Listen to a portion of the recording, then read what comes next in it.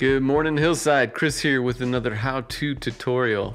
If you don't have the Hillside app, you're going to want to go over to our Facebook page or our YouTube page, and there's a video on how to download that if you don't know how.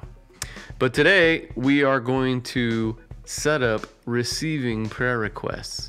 So if you want to pray for others in the church that need prayer, uh, you can set it up to receive those prayer requests. If you have a prayer request, what you're going to do is you're just going to email prayer at hillside4.org. And then if you've done that, those prayer requests will go out to those who have selected to be notified with prayer requests through the app. So let's go over to our phones. First thing we're going to do is we're going to press the three lines in the top corner. And you're going to see at the very top there, log in.